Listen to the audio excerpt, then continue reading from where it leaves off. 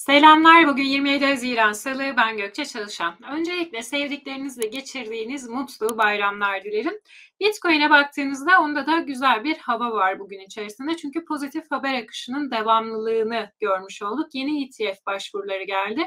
Diğer bir taraftan da fonlara ciddi anlamda bir giriş var. Temmuz 2022'den beri en yüksek haftalık girişi gördüğümüz bir e, süreç yaşadık. Burada detayları var. 200 milyon dolara yakın bir fonlara giriş olduğunu görüyoruz ve Temmuz 2022'den beri olmayan bir para girişi gerçekleşmiş oldu ve bununla beraber de geçtiğimiz 9 haftada çıkışlar vardı. Buradaki 9 haftalık çıkışında tamamını silmiş olduğunu görüyoruz. Bunu biz Trero Capital'ın e, düştüğünden, iflas ettiğinden beri görmediğimiz bir e, yükseklik olduğunu söyleyebiliriz. Yani piyasa iyiye gitti. Aslında FTX'ten beri bir düşüş halindeydik. Evet, Bitwise'ın CEO'sunun ilginç yorumları var. Onu bahsetmek istiyorum ondan e, kısaca. Yıllar sürecek olan boğa başladı şeklinde bir yorumu olmuş. Bloomberg'te katıldığı bir röportaj sırasında. Ve bunu da e, bu e, regülatif baskılara rağmen kripto paraların çok sağlam durmasına bağlıyor ve bununla da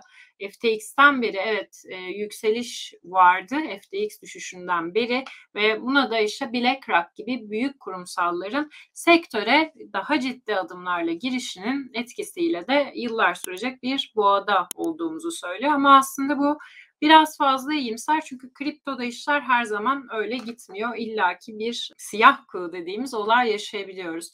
Şimdi geçtiğimiz haftalara baktığımızda bu hafta içerisinde Bitcoin'de %15'lik bir yükseliş görmüş olduk ve Bitcoin e, haftanın kazandıranı oldu.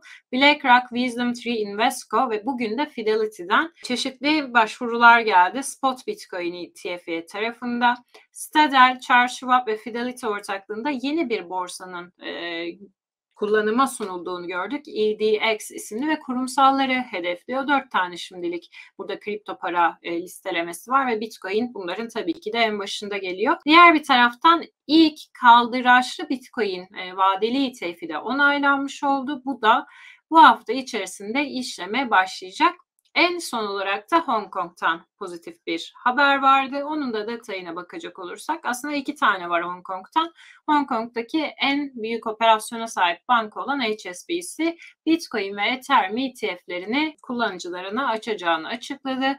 Diğer bir taraftan da borsalar için belirleyici olacak endekse 30 kripto paranın alındığını gördük. Hong Kong'da 1 Haziran itibariyle kripto para alım satım işlemlerinin tekrar yasallaştığını gördük biz ve e, bununla beraber de aslında Asya'dan tekrar likidite girişine açık bir kripto para ekosistemi var artık ve şu anda da burada hangi kripto paralar listelenecek, hangileri listelenmeyecek bununla ilgili tam bir netlik yoktu ama bunun haberine göre bu buradaki e, belirtilen 30 tane kripto para bu listeye eklenmiş oldu. Aslında burada Matic gibi, ADA gibi ve XRP gibi SEC ile başı dertte olan kripto paralar da var. Diğer bir taraftan da e, Litecoin'i e, görüyoruz e, burada e, Dogecoin var. Yani Proof of Work ile çalışan e, coinler var. Proof of Stake de var. Burada bizim de e, çokça konuştuğumuz kripto paraların